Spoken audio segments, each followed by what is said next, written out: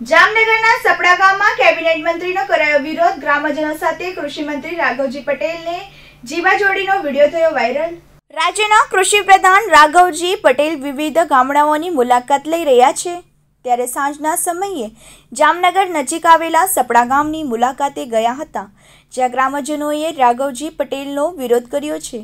ગ્રામજનોના આક્ષેપ છે કે ભાજપ સરકારે સપડા ગામમાં એક પણ વિકાસનું કામ કર્યું નથી.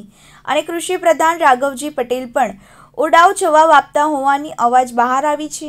ત્યારે ગામના લોકો એકઠા થયા હતા અને રાઘવજી પટેલનો વિરોધ કર્યો છે. સપડા ગામના ગ્રામજનોમાં ભારે આક્રોશ જોવા મળી રહ્યો છે. કૃષિ પ્રધાને પોતાની ઓફિસે રજૂઆત કરવા ગયેલાઓ અપમાન કર્યોનો પણ ગ્રામજનોએ આરોપ લગાવ્યો અને આખરે કૃષિ પ્રધાને ગ્રામજનોના કામો થઈ જશે તેવી ખાતરી આપી હતી. રિપોર્ટર હર્ષલ ખંદેડિયા, જામનગર.